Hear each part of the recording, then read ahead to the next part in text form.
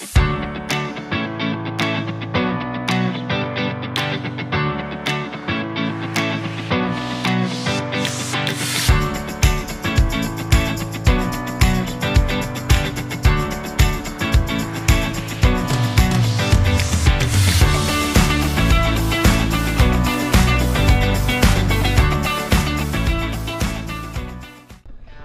Flated friends and family and fellow roadies, Ken Hoeve with Flated.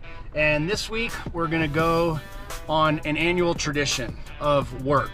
And that is my family has owned a ranch back surrounded by national forest for three generations. And every year when we try to get in there for the first time, there's undoubtedly a bunch of logs and debris and some snowbanks to get through in order to get down there and cut our way in for the summer. So this week I've loaded up all my gear, not only in my truck, but underneath my air cap. And we're gonna cut our way in, go do some fishing, hiking around, show you the mountains, and of course do some truck bed camping. We're back here up around 9,000 feet. It's beautiful and no one's around. Time to go to work. All right, we've made it to the entrance to the property and right off the bat, there's log number one that we've got to get out of here. Not too bad. Great thing is, I bought a new chainsaw this year. Let's put on some lumberjack clothes for protection and start to cutting. Also, one thing I wanted to show you, you can see my truck totally dusty. I didn't even have it zipped all the way shut on the way up here, but a question we get is how much dust gets in the back? Let's have a look. Nothing.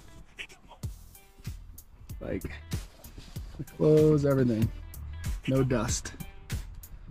Maybe just a tiny bit, but not much at all.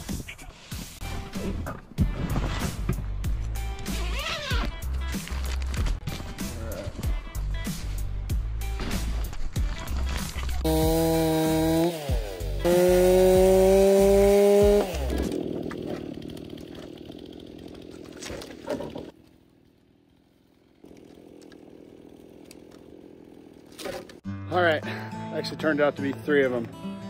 Three down. Who knows how many to go.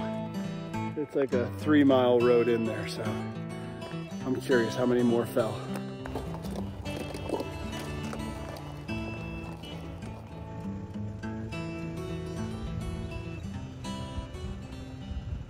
All right, 100 yards later, and we got another.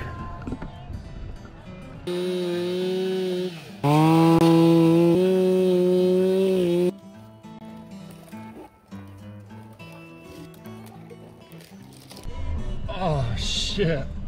This one's gonna test. Oh, another one right behind it. okay. I thought this was gonna be easy. no. And I'm alone. Check out this monster.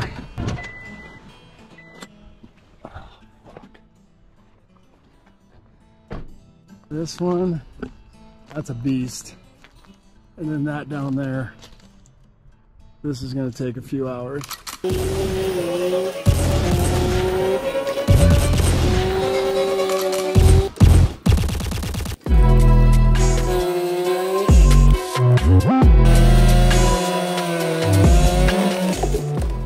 All right, success on that one. Come back and clean it up in a while, but now to deal with that and then whatever else is beyond that.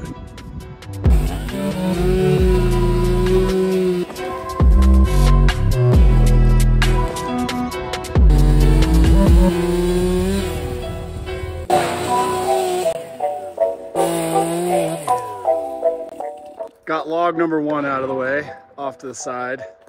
It's probably uh, 60 feet long.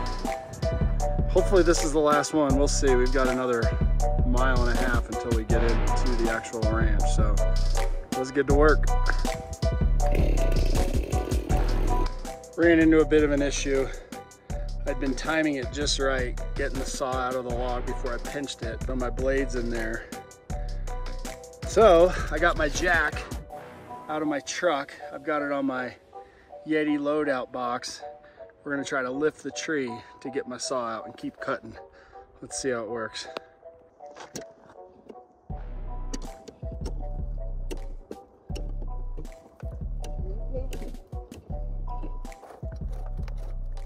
Oh yeah, success.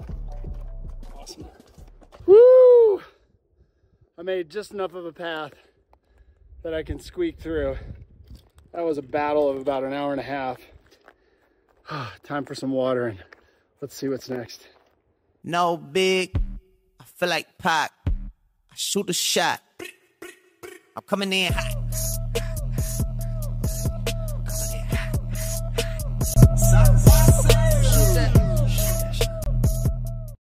That was the last log, no more. So stoked right now. Haven't been here since last fall. Welcome to our family place. Just pulled up and as I was pulling in a bald eagle flew over, but I'm right by the pond and there are two moose here. I'm gonna see if I can get out to the edge and show them to you on the other side without them seeing me.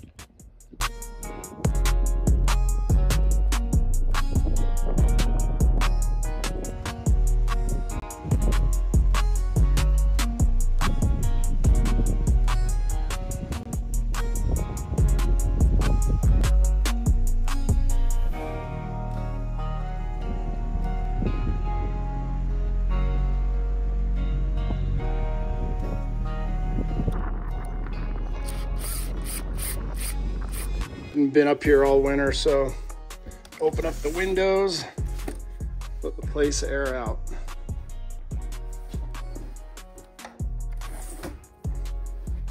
Before we go any further, first thing I like to do each year is come in here with the blower. I just opened up the shed and there's a bat. That was terrifying.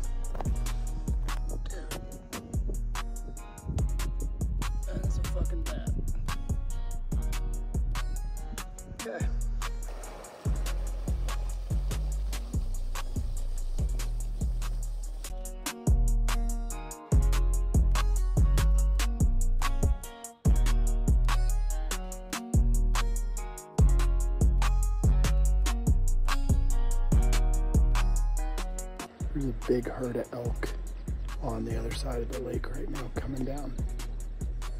I've seen everything today.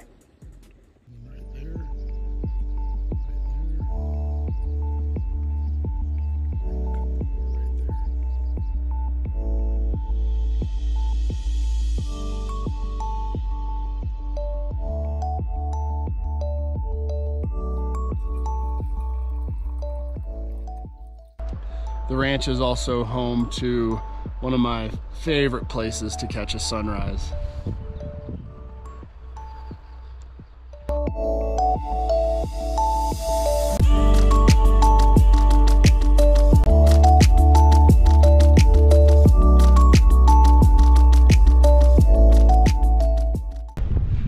Those logs, that was the hardest part of it. Road is clear, can get in here now. Now it's time to head back to civilization. The nice thing about up here is that there's no Wi-Fi service and there's no cell reception.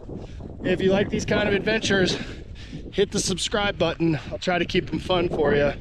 I know this one was pretty basic, but good time being up here. My favorite place in the world. Time now to try to hook some trout. Thanks for joining us on our flated adventures. We'll see you out here in the mountains.